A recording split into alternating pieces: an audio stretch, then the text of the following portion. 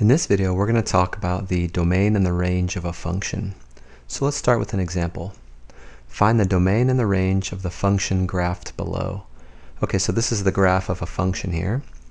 And so the way I like to think about it is, I see that I have two number lines, right? So here's the first number line, and here's the second number line. Let's imagine that the number lines were thermometers recording temperature. So for example, along this uh, thermometer, 0 degrees, 1 degrees, 2, 3, negative 1, negative 2, and so on. And we also have a thermometer going this way, right? 0, 1, 2, and then negative getting cold, right? Negative 1, negative 2, negative 3 degrees.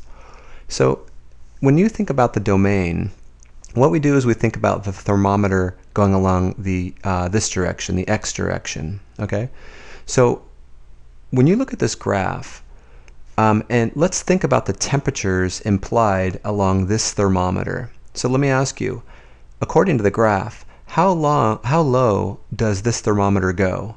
Well, it looks like it goes all the way down to zero, but it doesn't go below zero on this thermometer. Okay, so the domain has a low point, or a low temperature, if you will, of zero.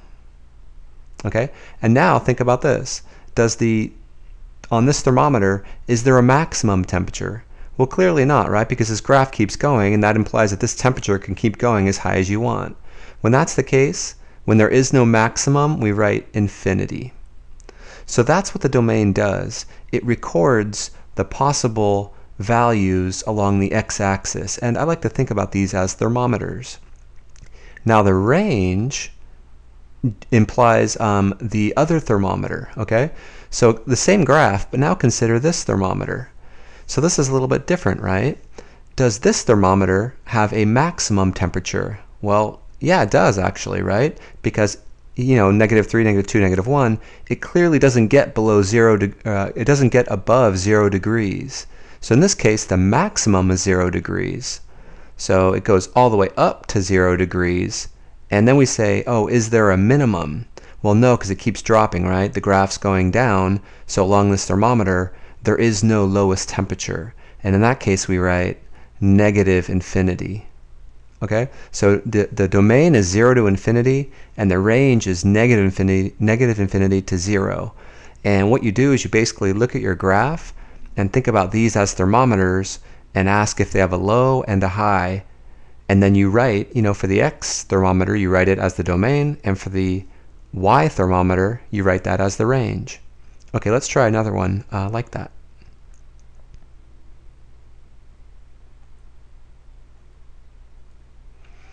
Okay, let's find the domain and the range of this function. So what is the domain?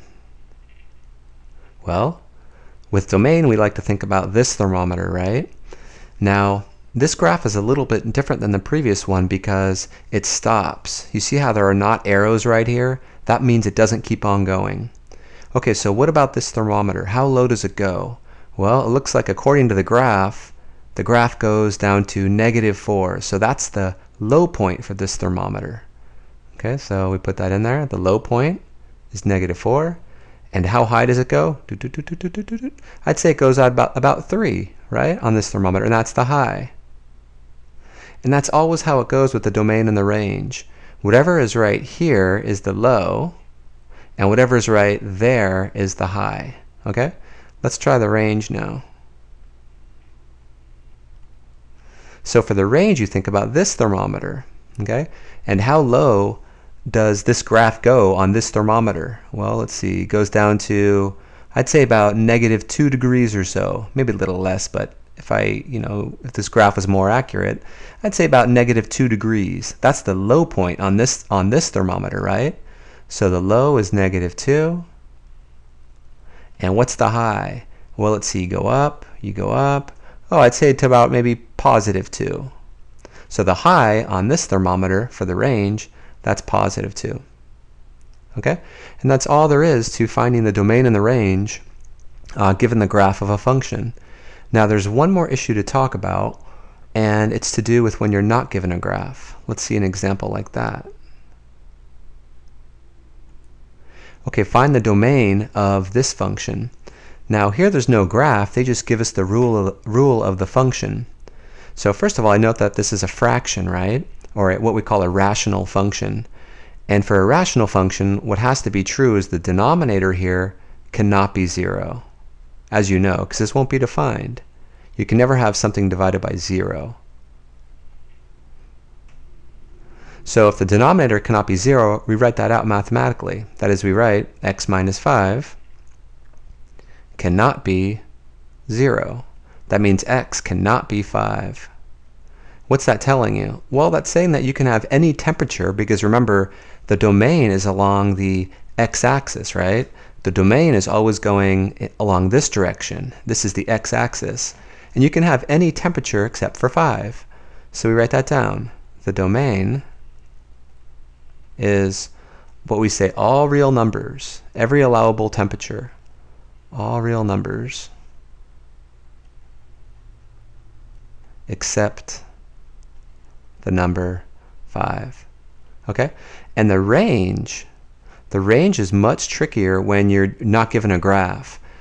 To to actually find the range, what you have to do, well, there are a couple of ways to do it, but the way that uh, you might be expected to do, to do this later on, the first um, way that somebody might expect you to do it, is you'd have to come up with the graph.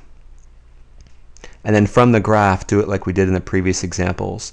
There are other ways, but they're a little more advanced than what we're doing now.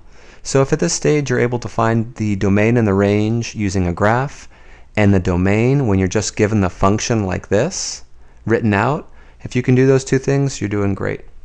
Okay, until next time.